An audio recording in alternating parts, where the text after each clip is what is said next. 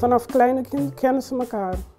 En ze zaten samen en nu vind ik heel leuk dat ze nu samen muziek maken. Nou, uh, altijd bezig. Maar ik vond het uh, normaal voor een kind. Emerson was vanaf baby en uh, speelt heel veel met bal.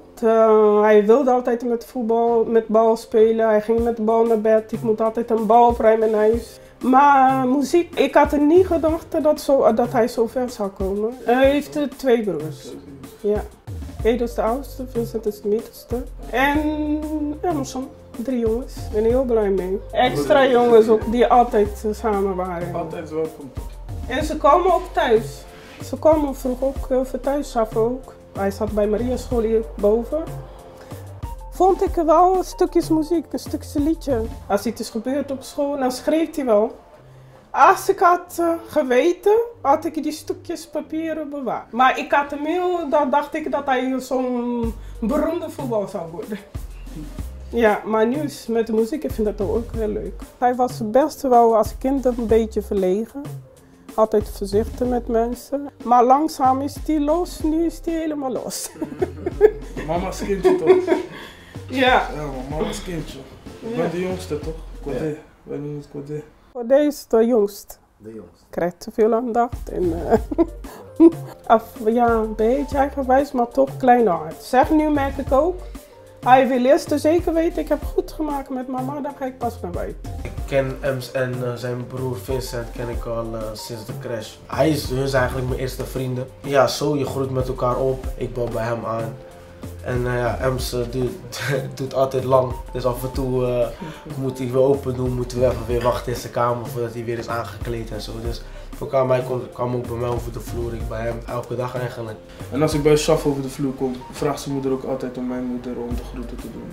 Pang is niet groot, iedereen kent elkaar. Iedereen kent elkaar. Nou, ik hoorde hem in het begin wel zingen thuis. Af en toe moet ik zeggen, hij was wat rusten. En dan kwamen jongens ook thuis, dan gingen ze buiten meer dingen doen, zeg maar, studio. Langzaamaan uh, begon ik het te horen, liedjes van hun. Ik weet het nu niet meer, maar volgens mij was het in 2014 of 2013 dat jullie hadden optreden bij... De eerste optreden dat ik had echt gezien, dat ik zag echt mijn zoon zingen, was bij Spattenpark. Ik dacht, nou, nou, nu is ze echt uh, serieus. En was echt leuk en zijn stem klinkt ook mooi. Ik denk, nou, mijn zoon is nu echt serieus bezig met muziek. ja, tot nu toe is hij goed bezig, vind ik. Ja, ik ben heel trots. Ja, het is leuk en ik krijg uh, ook een compliment. En uh, kinderen, af en toe komen ze hier aan de deur bellen, ook vragen naar Ems. En ja, dat is leuk allemaal. En vooral, één ding dat ik echt heel blij ben, is de muziek Lawanta. Mm -hmm. Omdat dat is gezongen in Cavadense taal.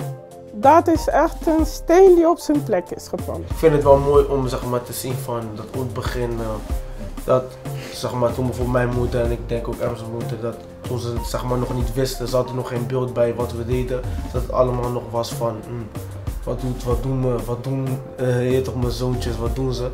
Maar dat ze nu wel zien dat het, toch, dat het gewoon goed gaat en dat we ons best doen, dat we positieve dingen doen. En dat ze ook trots op ons zijn, dat vind ik wel mooi. Ik ben blij dus, uh, dat hij zo positief bezig is. En, uh, ben je blij? Sowieso. Sowieso, broederliefde hier, ik ben met mama. We gaan gewoon schade aanrichten, zij is er ook. Je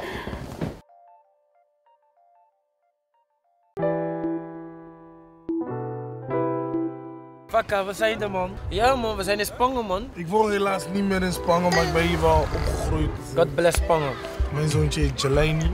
De mijne heet Javian. Die is nu daarachter aan het voetballen met Ems. Hij is anderhalf. Dit, is, dit is ook het papa-leven. Ja. Ze hebben gewoon sterke moeders man. Gewoon sterke moeders. Moeders weten wat onze functie is precies en wat de situatie is. Dat we ook tot laat in de studio zijn of weet, weet je, weekenden. Maar uh, wanneer we er zijn, dan zijn we er. En ze weten dat we het ook niet voor niks doen.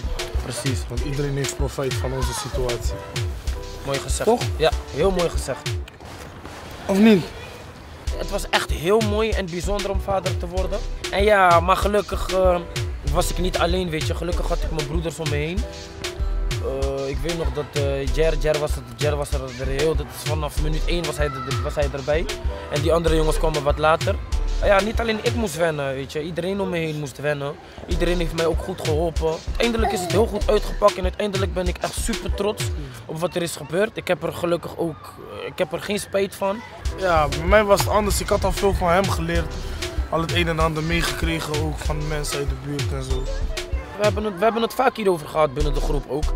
Van ja, missen jullie veel, bla bla bla. Nee, kijk, weet je, het, het is een... We hebben ook veel vrije tijd. Ja, klopt, precies. En, da- ja, en dat Eh, is Behalve op, op de studio uren na of als we bijvoorbeeld moeten optreden. Maar alles wat we doen is in de avond of s'nachts. ik maak juist heel veel mee, omdat hij, hij houdt mij juist eh, meer bezig. Je toch? Ik bedoel, van als ik in de ochtend thuis kom van de studio ongeveer rond een uur of zes, dan wordt hij wakker om half negen, negen uur.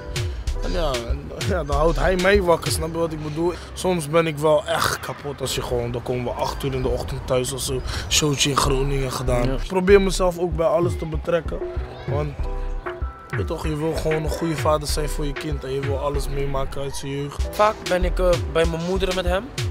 Want eh, mijn moeder eh, die, ja, die is een lange tijd weg geweest, weet je. Die was er niet bij toen hij was geboren.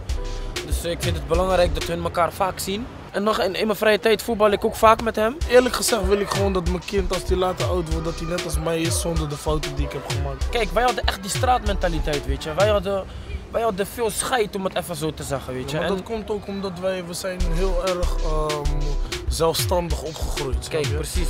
We hebben, we hebben andere dingen meegekregen. We hebben, zeg maar, en we hebben dat omgezet in strijden. En ik hoop ook dat hij naar mijn tracks gaat luisteren, zodat hij weet hoe ik in bepaalde situaties Ja, stond. toch. En wat ik van bepaalde dingen vond. Precies. Soms zeg ik wel broeia dingen, maar als hij op de juiste leeftijd is, dan gaat hij me begrijpen. Toch? Nee? Oh, ja. Nog niet. Ja. Wij hebben fouten gemaakt. Dat gaan zij ook maken. En dat gaan zij ook maken. Maar kijk, wij hebben, wij hebben, er, nu van, wij hebben er nu pas van geleerd. Dus wij, wij kunnen hun. Hun hoeven die fouten niet te maken die wij hebben gemaakt, begrijp je? Wij kunnen, wij, wij kunnen dat voorkomen voor hun. Ik zat heel erg in mijn eigen wereld, ik was heel koppig. En ik wil niet dat hij zo gaat zijn. Er gaat wel een moment komen dat je, dat je ze moet loslaten natuurlijk. En dan gaan hun hun fouten maken. Ik ben er nu tot die tijd ervoor om ervoor te zorgen dat hij die fouten niet maakt. Ja man, koop gewoon het beste. Dat is het man. Het beste voor je kind. Broederliefde is gewoon, eh, ja, gewoon gezelligheid. Voor mijn gevoel gewoon eh Caribische gezelligheid. Broederliefde. Het is niet zomaar een naam, zeg maar. Hard work does pay off. De groep die Rotterdam terug op de kaart heeft gebracht. Vol met liefde, passie, sfeer, keihard werken.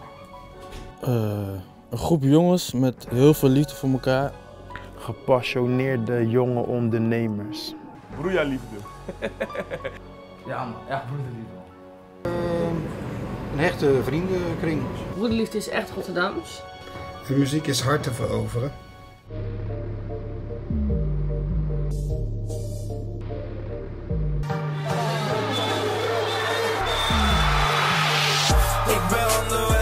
Schatje, ik ben op de weg. Ik ben onderweg, schatje. Ik ben...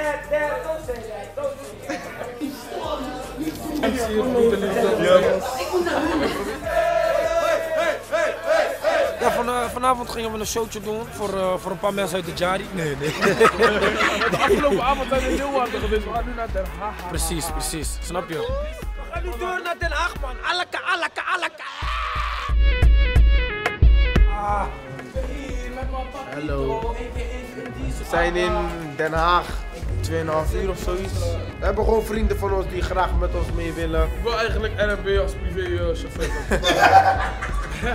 ja, en zo naar RM.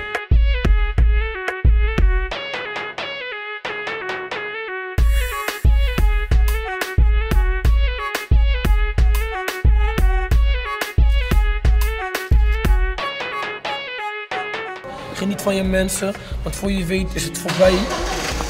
Love ya, namens broederliefde. We out. Yeah. Love. Película. Dank voor het kijken naar de documentaire van Broederliefde. Love.